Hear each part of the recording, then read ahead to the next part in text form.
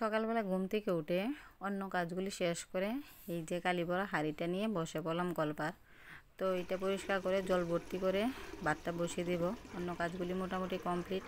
এবার ভাতটা বসানো রইল, কারণ মেয়ে স্কুলে যাবে। এই টাইমটার মধ্যে আমার ভাতটা বসাতেই হয়, নয়তো আমি ওকে দিতে খুব কষ্ট হয়। তো এদিকে হাঁড়িটা বসিয়ে দিয়ে আর ঘরে বালতিগুলিতে মানে কালকের কিছু জল ছিল, ওইগুলি নিয়ে আমি গাছের গরুতে দিয়ে দিচ্ছি। কারণ এখন গাছগুলো কিন্তু খুব জল টানছে আর বৃষ্টি তো নেই। আর প্রত্যেক দিন মানে খুব পরিমাণ রোদ্র উঠছে। তো যাই হোক, এবার এসে বালতিগুলি ভর্তি করে জল নিয়ে ঘরে যাব আর কি।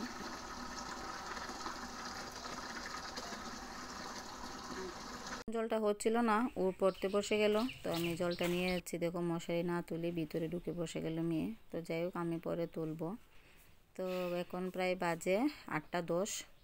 এই যে গড়িতে দেখে এখন আটটা দশ বাজে। তো রৌদ্রটা সেরকম মোটেনি, তারপর আমি কাপড়গুলি রৌদ্রে মেলে দিচ্ছি, তাড়াতাড়ি শুকিয়ে যাবে।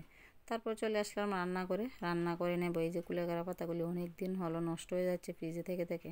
তো বেঁচে ভাবলাম আজকে শাক করে নেব।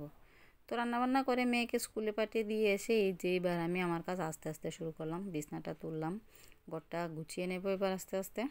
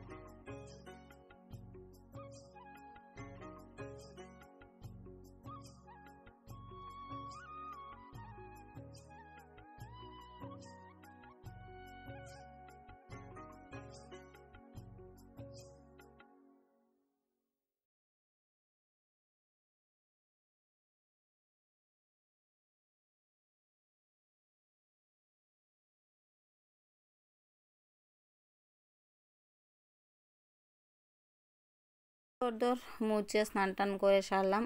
এবার মেয়ে এসে গেল। তো এবার মা মেয়ে মিলে ভাত খাব আর ওর বাবা এখনও আসেনি। আবার গেল একটু কাজে।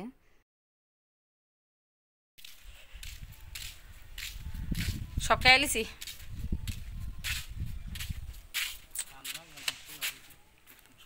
মনে তোমার লাগে আবার রান্না করে নেব বেশি খাওয়া হয়ে গেছে এবার একটু হাঁটাহাঁটি করতে হাঁটাহাঁটি না করলে হজম হবে না হজম। মেয়ের আবার আর্ট ডান্স দুইটি আজকে ক্লাস আছে। কয়টায় টাইমটা জিজ্ঞাসা করতে হবে ফোন করে। মা কয়টায় রে ক্লাস? কয়টায় থেকে দুইটা?